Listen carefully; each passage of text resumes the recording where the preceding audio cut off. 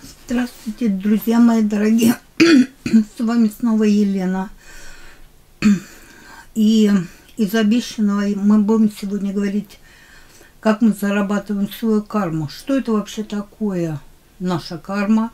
Откуда она берется? Почему она касается не только нас, но и наших детей, и даже наших внуков, и нашего рода в том числе.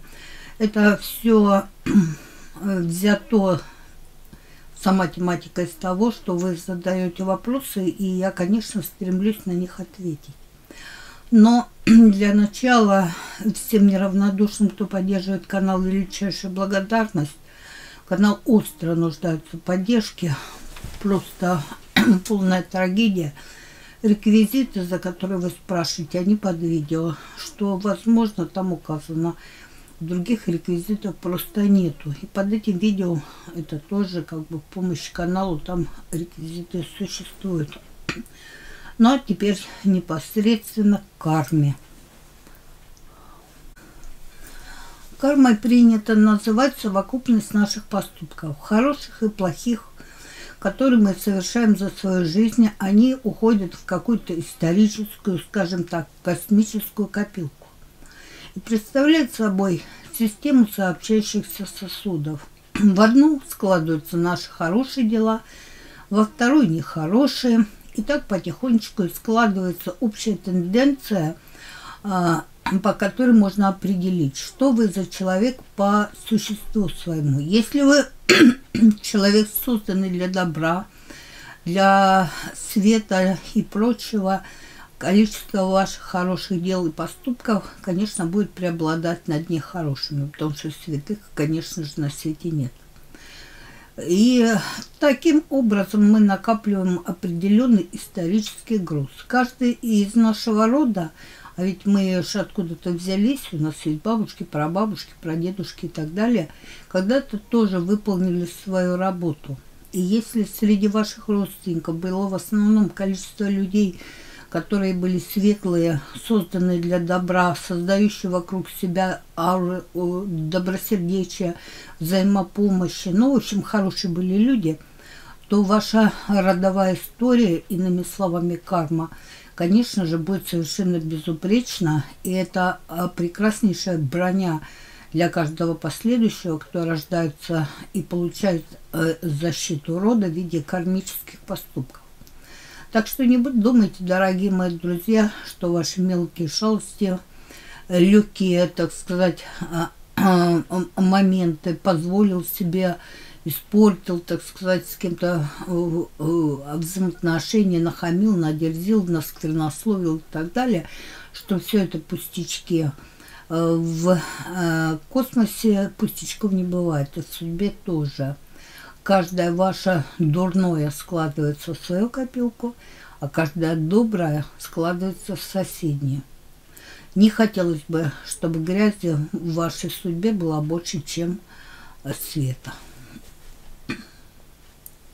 На эту тему можно смело сказать, что посеешь, и пожнешь. И если вам так будет легче, представьте себе, что вы хлебороб, и перед вами два совершенно одинаковых поля – только одно вы засеваете хорошими полноценными зернами. А на второе вам чего-то там жаль, или тяп-ляп само так сойдет, или какие-то семена непонятные насеяли. Разве можно в свете этого сказать, что урожай с обоих полей будет одинаковый? Нет, конечно, дорогие мои друзья. Там, где вы постарались и сделали все безупречно и полноценно – там э, вы можете смело рассчитывать на, на прекрасный урожай. А там, где вы насеяли не бог весь что, вместо зерна иной раз только одни, э, так сказать, плевлы, то есть э, шкурки а, от семян, может ничего не вырасти, кроме сорняков. Вот точно так же мы накапливаем багаж наших э, кармических историй. Карма – это просто летопись наших поступков, чтобы вам было понятно и ясно.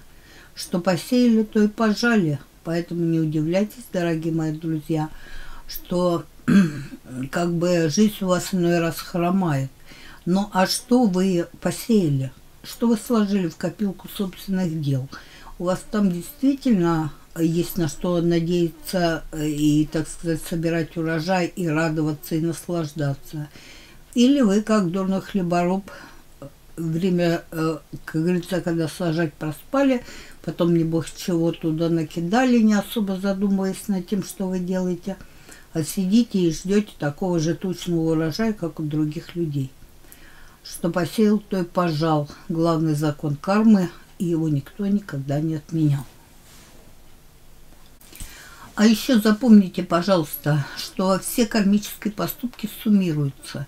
Здесь нет взаимозачета. Пошел, надерзил, нахамил, на... украл, убил, потом пошел и совершил хорошее дело, внес какие-то деньги в сиротский дом или построил церковь, или толстую свечку организовал, толще которой не бывает, так сказать, зачет, собственно, грехов. Зачетов у кармы нет. Здесь нету смешения тех сосудов, которые складываются хорошие и плохие поступки. Поэтому не надейтесь, пожалуйста, что собственные грехи можно замолить, их лучше просто не совершать. У кармы нет возможности, э, так сказать, на каждое плохое дело сделать хорошее и расслабиться. Что-то куда-то исчезло. Нет, ничего никуда не исчезло.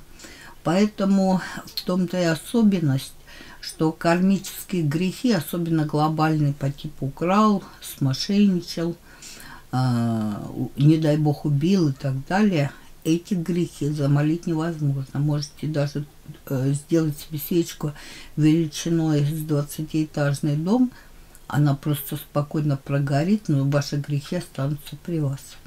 Поэтому вот в том-то и особенность вот в том и, э, так сказать, страшная история кармических грехов, что они не подлежат как бы истиранию. Нету такого, чтобы их замолить каким-то образом. Их главное не совершать. И это второй закон кармы, который вы должны усвоить. Но вот я все говорю, поступки да поступки, с поступками все ясно. Ты пошел, уже это сделал, как говорится, и, и сколько ни говори халва, во рту сладко не станет, и грех совершенный, и с ним все ясно и понятно. Но э, подвох заключается в том, что не только дела считаются в кармические зачеты ваших негативных историй, даже эмоции, мрачные пожелания кому-то зла – Э, неосторожное э, бряканье по типу «да что ты сдох» и так далее и тому подобное, эти эмоции э, с точки зрения кармических законов тоже засчитываются в копилку негатива. Да, казалось бы, я ничего не сделал, я просто сказал, но эмоции зачастую бывают пострашнее самого физического действия. И в данном случае, если мы рассматриваем карму как таковую и э, э, пытаемся понять, а что ее может испортить, так я и вам и говорю, не только самое дело. Ну да, вы не пошли, никого не убили. Мало ли что мне пришло на ум момент гнева. Но гнев и ваши дурные пожелания кому-либо или желания, стратегические планы внутри, которые вы долго вынашивали, то есть практически материализовали, потому что как нанесете урон какому-то человеку, мстительность ваша и прочее, тоже удивительным образом портят вашу карму. Вот почему я часто говорю, что завистники и прочее, когда переполняют сосуд своих негативных эмоций, вот это тот сосуд, который отвечает за отрицательное, невольным образом начинают получать кармические уроки еще при жизни. То есть у них что-то глобально рушится в жизни, начинается непроходящая черная полоса, они не понимают, что произошло. А произошло то, что сосуд накопления грязи, который они сторгают, дошел до финала. Все, больше тыкать некуда. И пошел обратный бумеранг. Ты постоянно желал кому-то зла, ты все время кого-то вынашивал какие-то э, грязные планы по отношению к другим, ты все время пытался мошенничать, ты все время кому-то страстно завидовал. И вот теперь весь навоз, который ты там накопил, обрушивается лично на тебя. А ему и никуда больше деваться. Вы были источником этого, вы получите, так сказать, результат. Хотели нагадить другому, а получите все в полной мере себе на голову. Так что подумайте лишний раз, дорогие мои друзья, стоит ли на свою жизнь тратить на это. Счастье вам это не принесет. А с точки зрения тех вещей, которые мы сейчас изучаем, что портит нашу судьбу, почему мы получаем вдруг негатив а, а, постоянный, не можем выбраться из собственных трудностей. Скорее всего, дорогие мои друзья, ваша внутренняя начинка порождает э, то, что мы называем кармическим грузом, а потом обрушивается на вас самих. У людей со светлыми помыслами, кто умудряется даже в самых страшных ситуациях оставаться человеком, таких историй не бывает. А, и я вам могу сказать, что вот ненависть даже, которая сейчас особенно глубоко заметна, да, и люди ненавидят поливать друг друга грязью, не желают вообще разобраться в ситуации. Э, ненависть это, это тоже кармическая история, которая ни к чему хорошему не приводит. Все негативные эмоции, ярость, ненависть, зависть, э, желание схитрить, это все перегружение ваших кармических сосудов. И э, Иными словами, вы себе на голову накликаете дополнительные сложности и проблемы, с которыми потом будете бороться в реальной жизни. Надеюсь, вы понимаете, о чем я говорю. Мы ведь начали с самых азов, чтобы вообще понять, что такое карма. А то много говорим, а что это такое, непонятно, да? Так вы уже еще раз могу повторить то, как я понимаю карму. Это летопись наших поступков. Мы ее сами пишем, эту историю. Нам в руки при рождении дается чистая книга и перо, которым мы будем писать. Вот что мы там напишем, дорогие мои друзья, такой будет и текст. На свете вышесказанного, помните, мы излучаем энергию, и в зависимости от того, какого цвета эта энергия, светлая или темная, она возвращается к нам бумерангом. Поэтому э, э, подумайте лишний раз, какова ваша внутренняя история, когда вы рассматриваете э, судьбы людей рядом с вами, ситуации, которые, если вы постоянно в негативе, у вас просто пена изо рта идет, вы всех ненавидите, вы всем желаете зла и прочее. Ну, помните, бумеранг запущен. Ждите, когда он приземлится на голову, но не тому, кому вы желаете зла. Как вы поняли, бумеранг прилетит те руки, которые вы выпустили, то бишь ваши.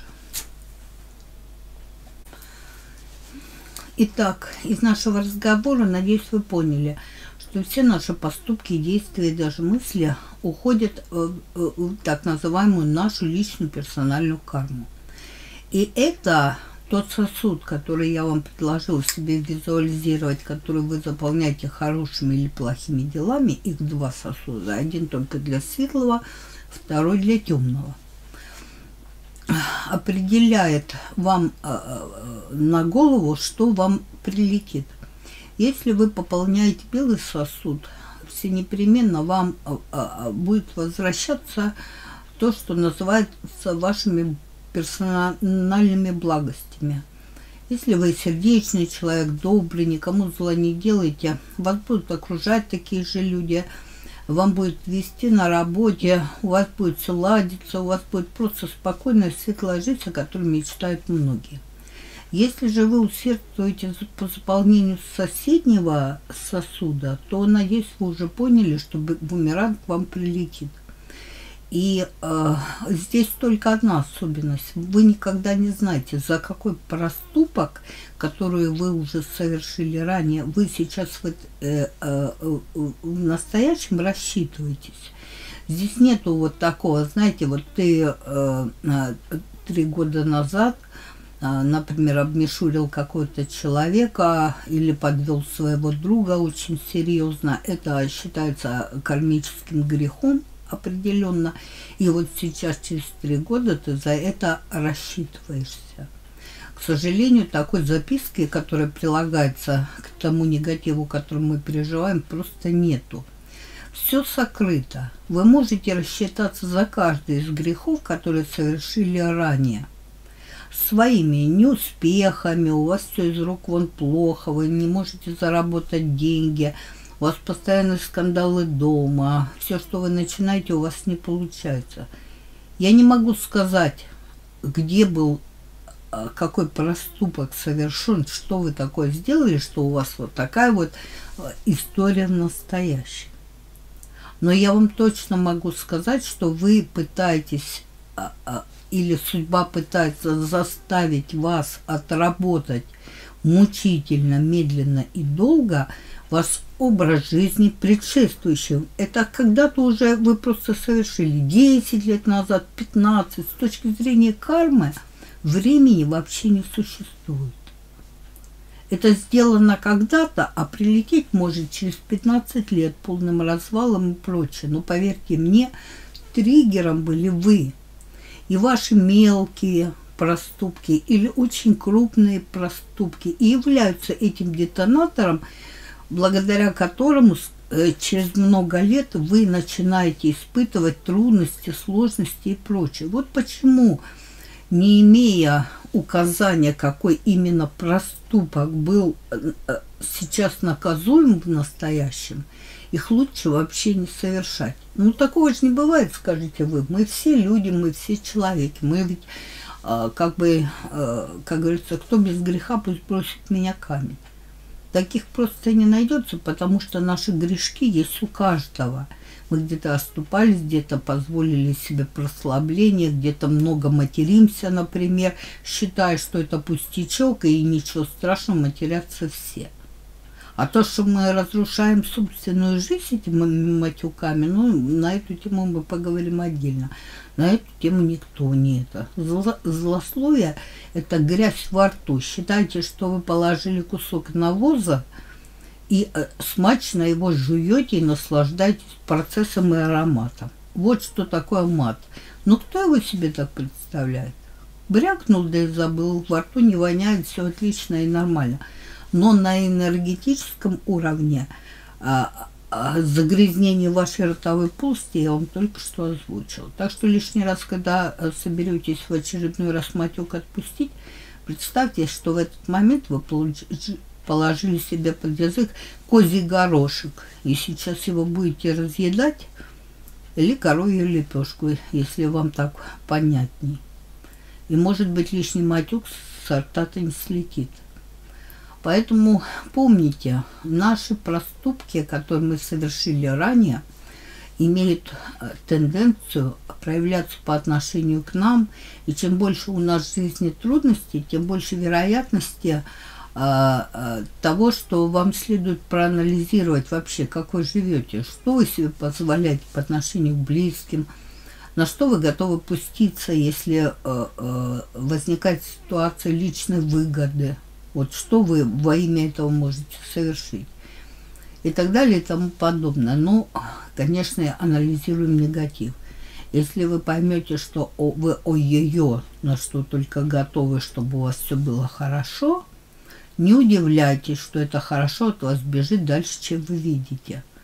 Потому что э, внутри вас много грязи, и вероятнее всего эту грязь в виде бумеранга вы уже давно запустили в эфир. Только сейчас он прилетел к вам, и вы пожинаете то, что и породили. Грязь порождает грязь, свет порождает свет. Тут же ничего другого и не придумаешь.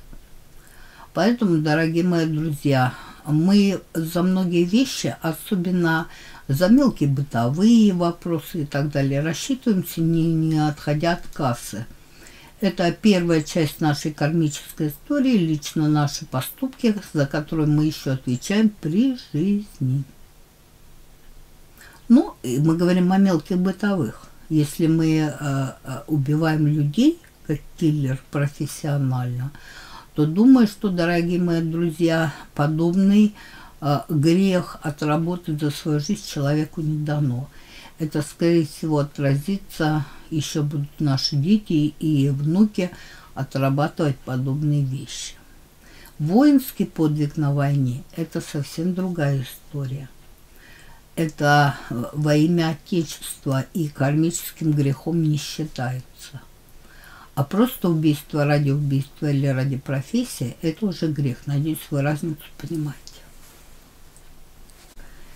Итак, дорогие мои друзья, совершайте или иные поступки, особенно нелицеприятные, мы накапливаем, накапливаем, накапливаем и даем себе бумеранг – которая она запустит нам в голову и не приложит визитную карточку, за что у нас так все не очень здорово как бы получается. Запомните раз и навсегда, вы получаете ровно столько, сколько заслуживаете. Это злополучное, что посеешь, что и пожнешь, есть основной а, истории, которую надо запомнить по созданию собственной кармы. Так вы уже приняли, что карму вы создаете сами – и тогда вы можете перейти на новый уровень. Управляемую карму можно создавать самостоятельно. Вы уже примерно представляете, дорогие мои друзья, что осознав о том, что все негативные дела со временем все равно вернутся к вам, вы решили вступить на совсем другой э, путь. Вы стараетесь теперь руководить собственными мыслями, эмоциями, действиями – и решили, что благие дела с этого момента станут для вас основным способом существования. Потому что уж э, теперь вы осознаете, что за хорошие э, дела судьба нас гладит по головке, а за плохие бьет линейкой по рукам. Все равно нам никоим образом избежать этого не получится. Способа пойти согрешить, а потом замолить это в церкви, на этот счет не существует поступок нельзя замолить. Вы все непременно за него рассчитаетесь. Его можно не допустить. Вот это единственный способ для того, чтобы существовать. Итак, представим себе, что вы находитесь на новом уровне и э, на уровне управляемой кармы. То есть решили, что вы в силах сделать так, чтобы ваша карма была светлой, чудесной, и вам не пришлось рассчитываться ежедневными трудностями за негативные эмоции, поступки и действия. Судьба к нам благосклонна, и мы всегда имеем а, а, как бы свободу выбора. Если мы решили, что мы в это, с этого момента будем справлять карму и жить по-другому, и вступим на другой путь не тьмы, света, для нас все дороги открыты, никто нам совершенно не препятствует. И пять, опять мы превращаемся в хлебороба, который тщательно продумывает над тем, чем он засеет поле, он к этому готовится, он следит за собой, его помыслы чисты, он не ленится, он ежедневно над собой работает, он совершает добрые поступки. Кстати, лень, дорогие мои друзья, является тоже кармически наказуемой историей. Кажется, ну, а кому плохо от того, что я все время лежу на диване? Впрочем, никому, особенно тому, кто лежит на этом диване. Но если у этого человека ненароком есть семья, которая голодает из-за этого, родители, которые страдают от того, что он такой а, получился никчемный и э, ни к чему не приспособленный человек, то тогда понятное дело, что его лежание на диване отнюдь не так беззаботно, потому что уже окружающие от этого пострадали. А стало быть, назвать это безобидным пустячком уже рука не поднимается. А пятно на карме человека, который разрушает не только свою судьбу, но и судьбу тех, кто рядом с ним, думает он об этом или нет, э, это уже трагедия, грех – кармического масштаба. Так что, дорогие мои друзья, вы являетесь частью Вселенной. И ваши поступки нарушают баланс, если что. Возникает цепная реакция. Я вам только что привела пример. Если человек лодырь, то все равно найдутся те, кто от этого пострадает. Даже если его лично все устраивает – семья, которую он завел, дети, которые не имеют средств существования, родители, братья, сестры, которые переживают за его судьбу. Это все равно те люди, которые страдают из-за этого поступка. Так что не получается так, что я вот закроюсь в комнате и никого моя судьба не интересует. На энергетическом уровне вы все равно э, пускаете как камень, брошенный в воду, он прежде чем опуститься на дно, он создает трепет и беспокойство вокруг себя. Вот так и ваши поступки.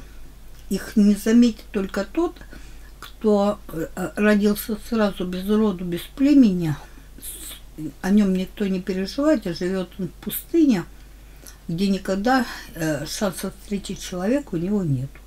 Тогда, возможно, очищенный от общества этот человек имеет право распоряжаться собственной судьбой, но в любом случае эта ситуация достаточно болезненная, вы же понимаете? Но если мы стоим на пути управляемой кармы, то мы должны анализировать наши поступки. Честно, откровенно, на предмет их содержимого. Мы ведь э, в глубине души точно знаем, добрый это поступок или нет.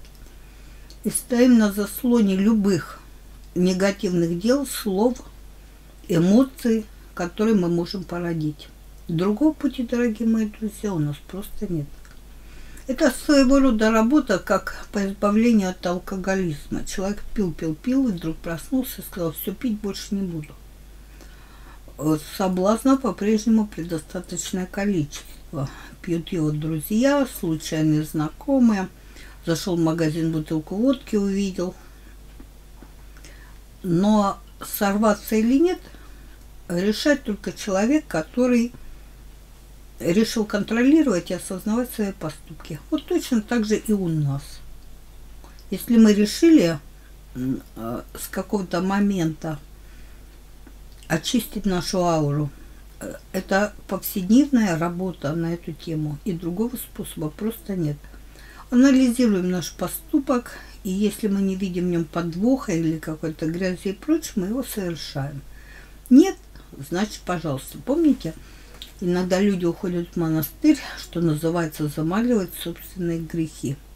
То есть своей кротостью, своим аскетизмом, своим отказом от э, соблазнов общества, они как бы переходят вот эту управляемую карму. Но я вам могу сказать, что это исключительная крайность. Вам монастырь не нужно. Но если вы человек светлый, с понятиями о жизни, вы ведь и сами-то прекрасно понимаете – что вы никого не убиваете, не лжете, не, не измываетесь над человеком, а, соответственно, все исключительно хорошо. Управлять свой, своими поступками, даже если мы не будем называть это кармой, это правильно для любого человека. Надеюсь, вы прекрасно это понимаете. Так должно. Мы всегда несем ответственность за, за то, что делаем.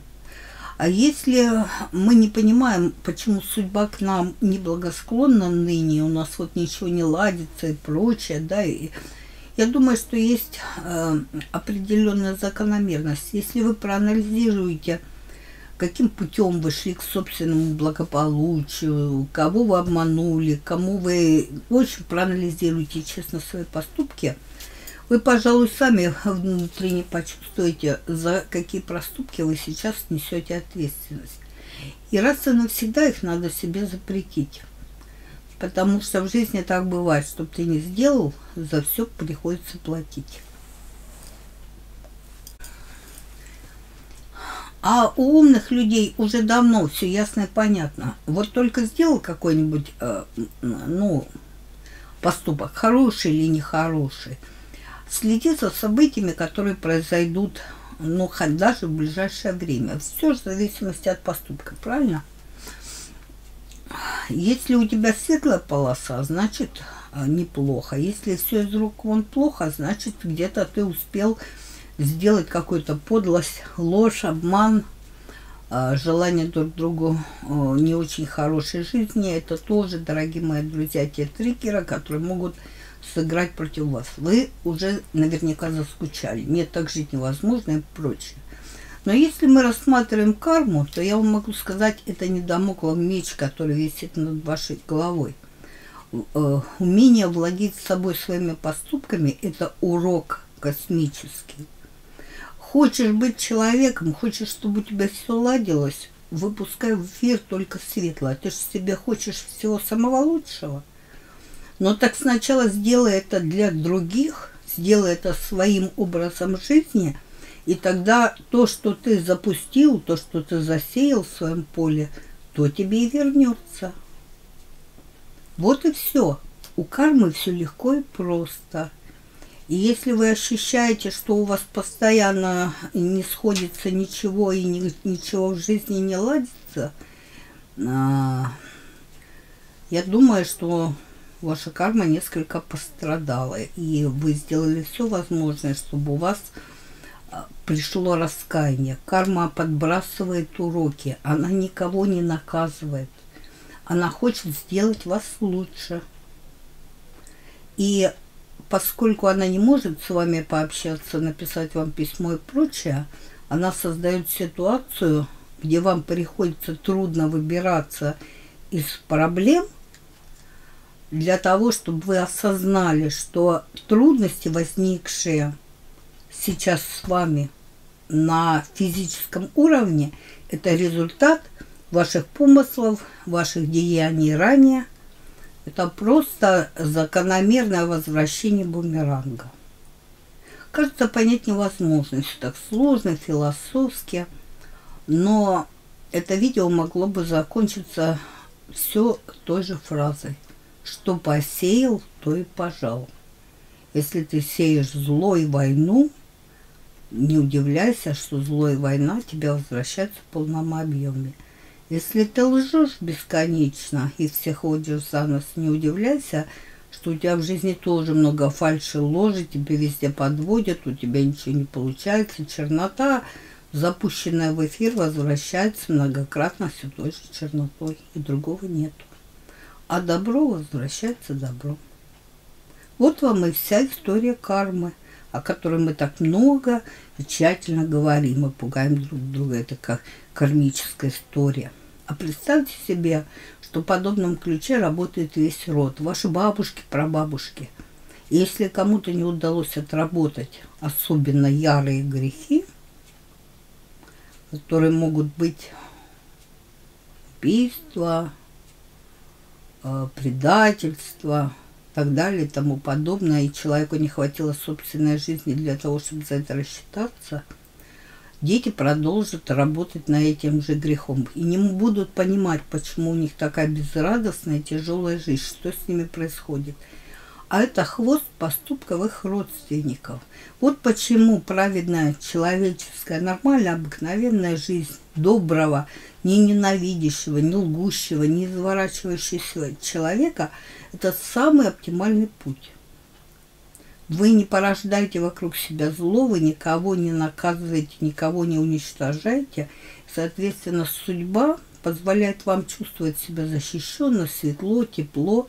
У вас есть на хлеб насущный, у вас как бы обыкновенная жизнь, которую вы сами заработали.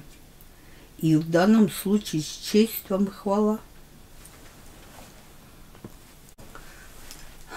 Для тех, кто не делает выводов над своими поступками и считает, что во всех негативах виновата судьба, а вы такой чистый, пушистый, сверкающий, я имею право так поступать, я делаю то, что хочу.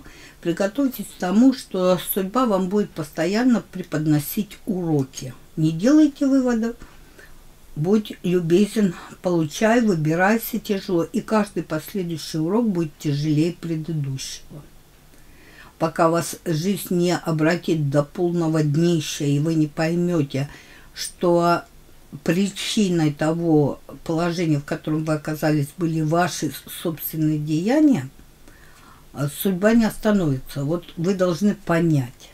И чем быстрее вы осознаете, что ваш образ жизни был неправильный, ваши помыслы были чисты, ваши поступки были, э, должны быть не гадостными, а человеческими – вы должны это осознать, что вы несете ответственность за все.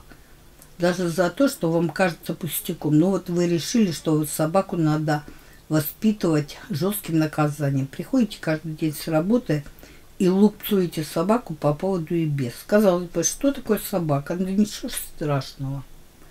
Но жестокость. Вы запускаете жестокость, а бумерангом придут люди, которые вас будут унижать, оскорблять, например, начальник самодур, который будет издеваться над вами и получать от этого удовольствие. Казалось бы, при чем здесь собака и начальник? А это кармический урок, дорогие мои друзья. Если вы позволяете себе злобу и унижение существа, которое не может вам достойно ответить, вы попадете в аналогичную ситуацию. Правда, вы не проведете параллель между э, этими двумя случаями и будете думать, что вам просто не повезло с начальником. А прежде всего, э, это был кармический урок. Вас поставит в то же положение, э, какое вы ставите своего брата меньшего, которого дубцаете ногами, чтобы вы почувствовали, как это сладко. Но, как говорится, к сожалению, было бы лучше, если бы еще прилетела открыточка. Это тебе унижение за то, что ты тоже унижал кого-то. Но тут мы должны догадаться сами. Вот в этом и особенность и трудность понимания, что нам нужно сделать, чтобы улучшить свою карму. Просто не делайте дерьма. Извините за это грубое слово, но тогда оно вас не найдет встречно. А с вами была Елена.